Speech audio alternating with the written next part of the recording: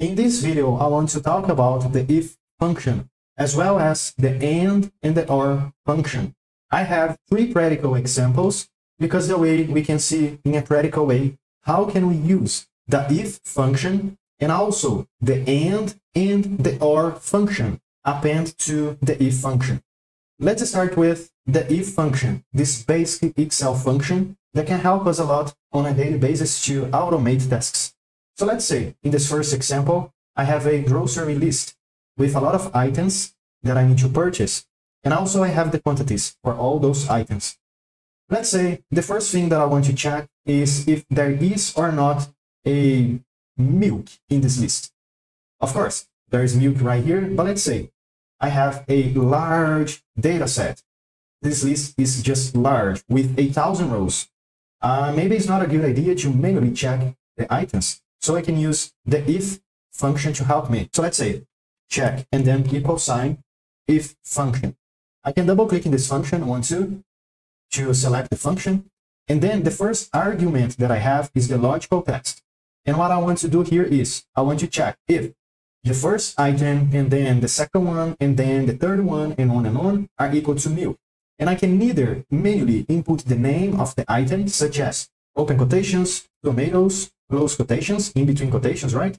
Or I can dynamically click in the first cell where I have the name of the item because when I drag the formula down, I can take all the items with uh, the drag down, let's say. So let's stick with the second solution. Click over the cell. And if this item that I selected is equal to, equal to, in between quotations, milk, I want to input comma. So if it's true, I want to have as return the word true, for example, the statement. If it's not true, comma, else, I want to input false as result. Close parentheses, and then enter. Okay, we got false as the first result because, of course, tomatoes is not equal to milk. But let's bring this formula down. At, uh, you just need to click at the bottom right corner of the cell, click, hold, and drag down, okay? Uh, now we can see that I have only one true because I have only one row that corresponding to the milk item. And of course, we can also change the item. We can also change the value if it's true or if it's false. But let's move on here to another example now using the quantities. I want to check where I have quantities that are less than or equal to 6, for example. Check, enter, equal sign, if, again, double click, 1, 2. The logical test now is going to be using the quantity. If this quantity right here is less than 6, so pay attention to the sign that I'm using, less than. However, if you also want to include the number itself, let's say 6 is equal to 6. It's not less than 6. So if you want to also include the number 6 itself, you can append immediately after the less than sign the equals sign. So now we have less than or equal to the number 6. Comma, if it's true, I want to, in between quotations, input less than 6. Close quotations and then comma. Uh, if it's not true, I want to input just the false statement and then close parentheses and then enter. So as we could see here, whenever I want to customize the result, true or false, I can do whatever I want to do in between quotations. You just need to input the text that you want to use, and that's it. Let me, at the right corner of the cell, click, hold, and drag down to make sure we can code this function down. Now I have false for all the quantities that are greater than the number 6. However, if it's equal to or less than 6, I'm uh, gonna have here as the result less than 6. But let's move on now to another example because I think we already understand how to use the if function. In the second example, I have a inventory list where I need to check the quantities below 10 units. So I have items, shelf location, quantity, and some John's notes right here. So let's say the first product it has one unit in stock. So of course, I need to purchase this product because it is less than one is less than 10. Of course, I need to buy this product. However, if I go to the second row, I have 51 units in stock. considering the criteria that is 10 units, I don't need to buy this product. However, I have here a John's note telling me to buy this product. But why is that? Because maybe John is seeing that the product B is selling a lot. So maybe John is trying to avoid a shortage of the product B. So he wants to make sure we always have the product B in the inventory. So I need to consider those two columns to buy or to not buy the product. And knowing that we can use the OR function with the if function. Because if the quantity is less than 10 units or the John's node is equal to buy, I need to buy the product. Or one or another needs to be true. So let's input here this statement. Uh, check, enter, equal sign, if function again, double click, one, two. And as we can immediately see, the logical test, the allowance is just one logical test. We can only check for one thing, but here I have two different criteria. So how can I do it? I can append right here the OR function, OR, and then double click in this function, one, two. Okay, now we can have many different logical tests or as many as we need to. Let's start with the first logical test. That is, to purchase more units for a product, the quantity needs to be below 10 units or less than 10 units, comma, or the John's notes needs to be equal to by exclamation. Uh, it's important to use here the equal sign and then code and uncode the criteria that you need to input right here. Code, uncode. That's it. The two conditions that I need are already within the OR function. So I can close parentheses and move on to the second argument. That is the value if it's true. Uh, it's important to use the comma, okay? Value if it's true. If it's true, I need to buy the product. So open quotations, buy it, for example. Close quotations, comma. If it's not true, I don't need to buy the product. So open quotations, do not buy. Okay, close quotations, close parentheses, and then enter. Buy it as the first result.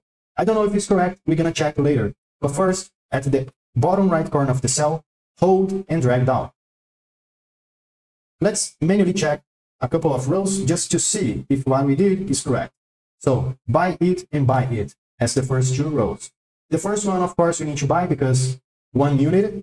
Uh, the second row, we need to buy, I don't know, 51 units, don't need to buy. However, Jones input here a buy note. So, of course, we need to buy this product. If we move on to another one, let's just take randomly this row, buy it, of course, because 4 is less than 10. If we go to this row right here, 25 is a larger number than 10. However, we have buy as the John's node. So of course, we need to buy it. Yeah, that's it. So it's correct. Now I know all the products that I need to buy and all the products that I do not need to buy.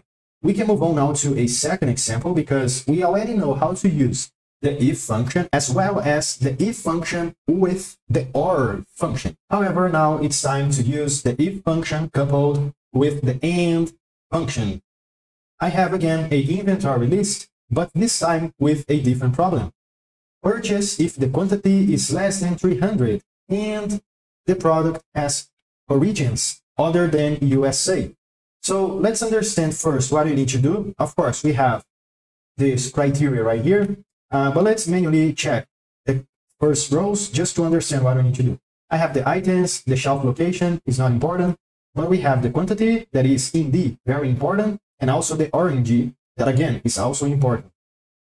If I consider the first product, 120 units in the inventory, maybe I need to buy this product because 120 is different than 300. So of course I need to buy this product. However, the origin is USA. So I don't need to buy this product. So I need to check. Both of those criteria, quantity and the origin needs to match with my need. Let's move on to the third row. 290. Oh, maybe, maybe we need to buy this product because 290 is less than 300. And uh, the origin is Japan. So yeah, we need to buy this product because the origin is different than USA. It's Japan. But let's transform it into a if statement. Equal sign if function, double click, one, two. And as we learned before, The problem with the if function is the allowance of only one logical test. And here we have two, the quantity and the. So how can I do it? The AND function. I need to use here the AND function because both of those criteria needs to be true at the same time. The quantity and the origin needs to be true at the same time. Double click in the AND function on 2.